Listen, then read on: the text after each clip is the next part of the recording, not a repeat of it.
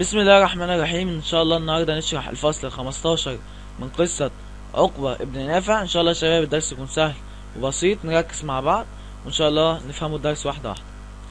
آه أول حاجة نشوف ملخص آه الفصل الخمستاشر.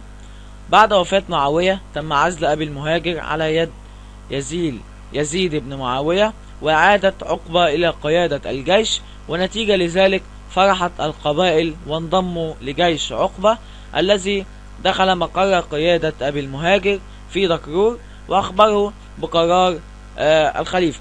وأمر عقبة المسلمين أن يتركوا دكرور ويعودوا إلى منازلهم في القيروان فعادوا وأصلحوها.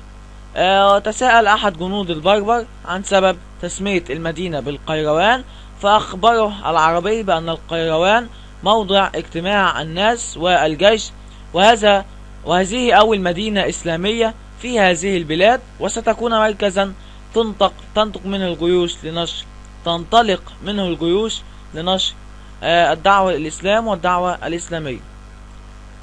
هنشوف دلوقتي معاني الكلمات. حرجا ضيقا أو مشقة مشتقة مشقة. أروع أجمل وعكسها أقبح. كثيفا كبيرا وعكسها صغيرا. يمنحه يعطي. متى عاد عقبة إلى القيادة بعد عزله وكيف نظر إلى قرار إعادته؟ يبقى عاد عقبة إلى قيادته بعد موت مسلمة بن مخلد والي مصر ونظر عقبة إلى هذا القرار على أنه رد اعتبار له يعني هو عزل بسبب أسباب شخصية ثم عاد وهذا في من رد اعتبار شخصية عقبة بن نافع. ما موقف أهل برقة من نداء عقبة؟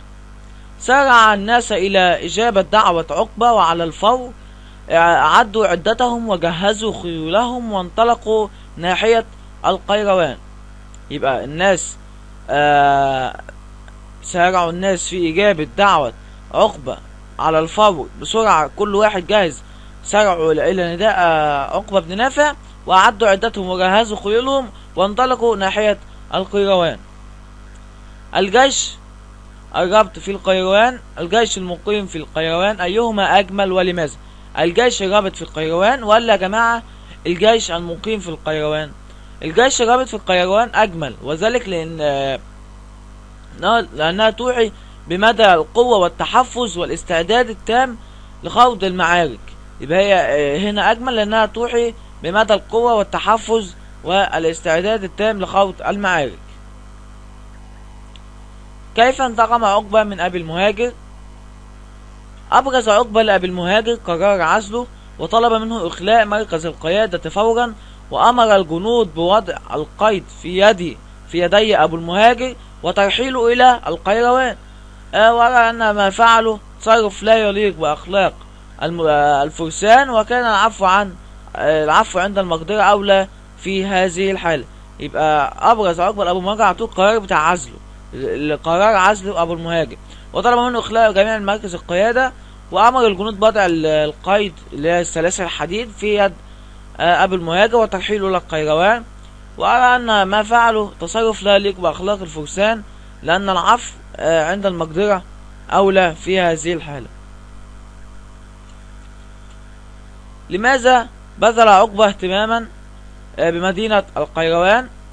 لأنها أول مدينة إسلامية تقام في البلاد وستكون مركز إشعاع ويتخرج منها الحملات لت... ويخرج منها الحملات تطوير كل هذه الجهات من أعداء الله. يبقى لأنها يا جماعة أول مدينة إسلامية. كانش لسه في إسلام يبقى دي أول مدينة إسلامية تقام في البلاد وستكون مركز إشعاع للدعوة الإسلامية والدين الإسلامي. وأيضا يتخرج منه الحملات لتطهير كل هذه الجهات من أعداء الله عز وجل. شوف دلوقتي أسئلة الدرس.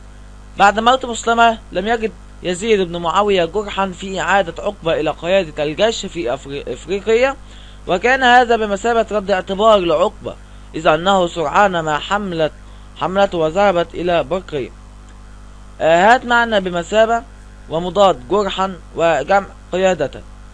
في عهد من عاد عقبة لقيادة الجيش وماذا كان يمثل له هذا القرار؟ إلى أين اتجه عقبة؟ وكيف استقبله أهلها؟ العرض الذي عرضه عقبة على أهل المدينة ولماذا؟ آه وبكده يكون خلص درسنا مع الوعد ودروس أخرى والسلام عليكم ورحمة الله وبركاته.